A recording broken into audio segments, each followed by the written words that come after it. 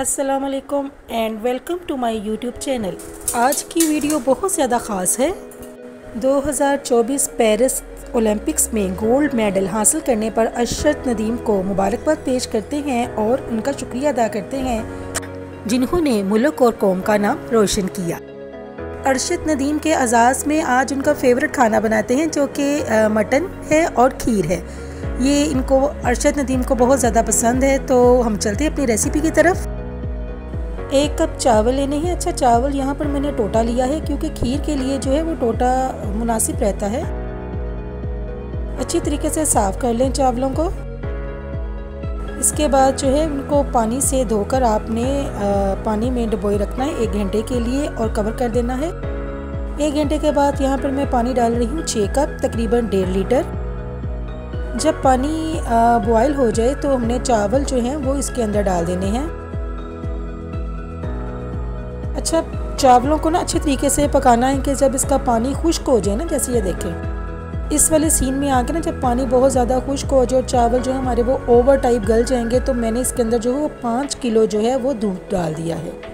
तकरीबन मैंने एक कप 250 ग्राम चावल लिए थे टोटा लिया था, और पाँच किलो जो है वो मैंने दूध लिया है, जो मैंने चावलों के अंदर डाल दिया है। ये वाली रेसिपी है जो है ना खीर की बड़ी आसान है, बड़ी सिंपल सी है, बस इसने पकते रहना है, बस। और ये है कि लेकिन इसको आपने बार बार देखना भी है, बार बार चम्मच भी हिलाते रहना, ये नहीं कि ऊपर पकने के लिए रख दी है तो रख दी। अच्छा जी, इलायची ली है मैंने, इलायची चार से छः अदद ली है, ये अपने ही फ्लेवर में पकेगी, ऊपर मैंने कैप रख दिया है। और इस तरह करके जो है ना, वो आपने बार बार देखते रहना है कि हमारी जो खीर है कहीं लग ना जाए। तकरीबन दो घंटे लगेंगे इसको ना लो फ्लेम में पकने के लिए ना, तकरीबन दो घंटे लगेंगे और आँच आपने लो फ्लेम करनी है। ताकि हमारा जो दूध है वो पक पक के जो है ना, वो खोया टाइप इसके अंदर ही बन जाए और ये खीर जो है ना, वो हमारी पकती रहे और इसको तकरीबन आपने हर 10 से 15 मिनट बाद जो है ना, वो चेक करते रहना है। और ये देखें हमारी तकरीबन जो है ना, वो पहले से जो दूध है ना, वो खुश्क हो गया है। अब मैं यहाँ पर बादाम के स्लाइस और पिस्ता जो है, उसके स्लाइस जो है, वो डाल रही हूँ। आप चाहें तो कोई सा भी ड्राई फ्रूट अपनी पसंद का डाल सकते हैं। खीर तो मुझे खुद बहुत ज़्यादा पसंद है। I love kheer. बचपन में जब मेरी मदर खीर बनाया करती थी ना तो हम लोग लड़ा करते थे कि भाई खीर का जो देखते ना, वो मैंने साफ़ करना है। अब हमारी खीर में देखिए, दो कप चीनी डाल रही हूँ मैं, और चीनी आपने खीर पर ना हमेशा एंड में डालनी करनी है, और साथ साथ चम्मच जो है ना, वो हिलाते रहना है, ताकि जो है ना, वो खीर हमारी नीचे से लग ना जाए। ये देखें, और इसके बबल्स ऐसे आने शुरू हो गए, इसका मतलब है कि हमारी जो खीर है ना, वो तैयार है। खीर को मैं साथ में चम्मच इस वजह से हिलाया कि नीचे से जो है ना, वो खीर लगना जाए। ये देखें। अब इस तरह जो है ना बबल्स मतलब के आएँगे, इसका मतलब है कि खीर हमारी जो है ना वो बहुत ज़्यादा गाढ़ी हो चुकी है और बात मैं दोबारा यानी कि इस बात को रिपीट कर दूँ, खीर में हमेशा आपने चीनी एंड में डालनी है। खीर को डिश आउट कर रही हूँ। खीर पर जो है वो अब मैं सिल्वर पेपर लगा देती हूँ।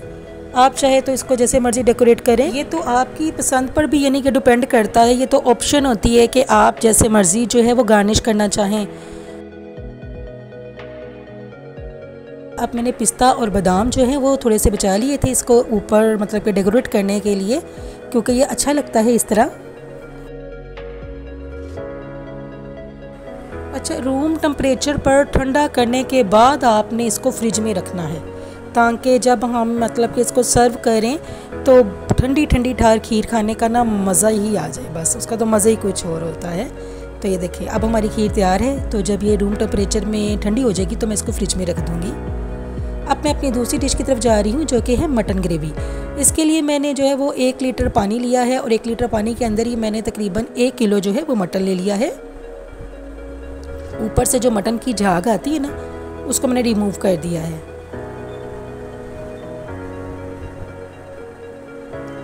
ये देखिए, इसको मैंने रिमूव कर दिया है। अब मैं जो है वो दो अदद प्याज दरमियाने साइज़ के लिए हैं, वो मैं इसके अंदर जो है ना वो डाल रही हूँ।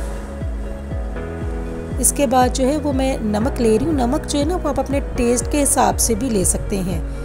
और एक खाने वाला चम्मच लिए है लाल मिर्च, आधा टीस्पून लिया है मैंने हल्दी और डेढ़ टेबल स्पून जो है ना, डेढ़ खाने वाला चम्मच वो अदरक है और एक टेबल स्पून जो है ना वो लहसुन का पेस्ट है। एक अदद बादयान का फूल, दो बड़ी इलायची दो छोटी इलायची, चार अदद लौंग और तकरीबन दो इंच का जो टुकड़ा है ना, वो दारचीनी का है। वो मैं इसके अंदर जो है ना, वो अपने मटन मले सालन के अंदर डाल दूँगी ताकि सारे फ्लेवर जो हैं, वो अच्छे तरीके के साथ जो है, वो इसके अंदर ऐड हो जाएँ और इसको कवर करके आपने इसको पकने के लिए तकरीबन रख देना है आधे घंटे के लिए। ये देखें। अच्छा इस जब हमारा पानी खुश्क हो जाएगा ना तो ये देखिए हमारा पानी खुश्क हो गया है। और अब मैं इसको देखती हूँ, खुशबू बहुत अच्छी आ रही है माशाल्लाह से।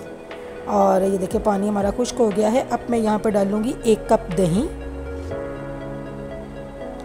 एक कप दही डालने के बाद जो है, वो मैं जो बाकी हमारे यानी कि जो मसाले रह गए थे ना, अभी इसके अंदर, वो अब मैं इसके अंदर जो है ना, वो ऐड करूँगी। जैसे एक खाने वाला चम्मच जो है, वो हमारा सूखा धनिया का पाउडर है। एक ही खाने वाला चम्मच हमारा सफ़ेद ज़ीरे का पाउडर है। कश्मीरी लाल मिर्च, यानी कि देगी लाल मिर्च जो है ना, वो भी एक खाने वाला चम्मच है और आधा खाने वाला चम्मच जो है वो मैंने काली मिर्च का पाउडर डाला है। और एक कप ऑयल लिया है मैंने। आप चाहें तो घी का भी इस्तेमाल कर सकते हैं, जैसे आप इजी मतलब के रहते हैं, उस तरीके से है। जो भी आपको अच्छा लगे। तमाम मसालों के साथ जो है ना, वो हमारा ऑयल जो है ना, वो सेपरेट हो गया है, वो इलादा हो गया है। तो तकरीबन मैंने डेढ़ कप जो है, इसके अंदर मैं अब पानी डालूँगी, क्योंकि इसके अंदर इसको ग्रेवी टाइप बनाना है ना हमने। इस वजह से जो है ना मैंने तकरीबन डेढ़ कप जो है, वो इसके अंदर पानी डालूँगी अब। ये देखिए। ये मैंने डेढ़ कप पानी डाल दिया है। इसके बाद जो है, वो मैंने लिया है आधा कप पानी।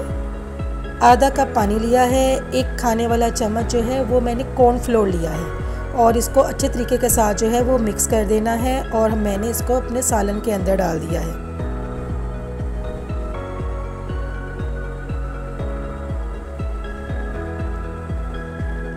रेसिपी जो है बहुत ज़्यादा मज़ेदार रही वाली ना मटन ग्रेवी की।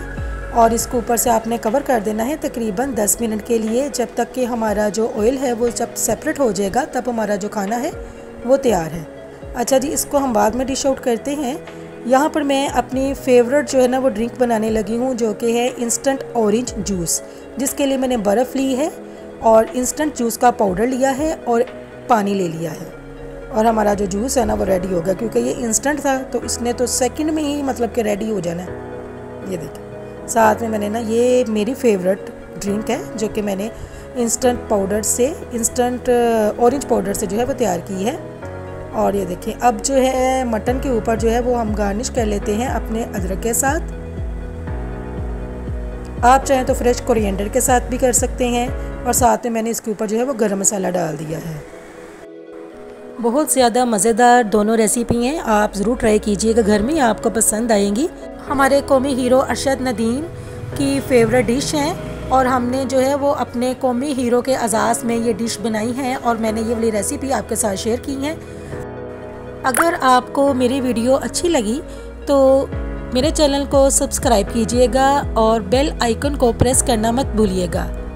अल्लाह रब्बुल इज़्ज़त हमारे मुल्क को हमेशा सलामत रखे और हमेशा कामयाब कामरान करे। आमीन। सुमामिन। थैंक्स फॉर वॉचिंग अल्लाह हाफिज़।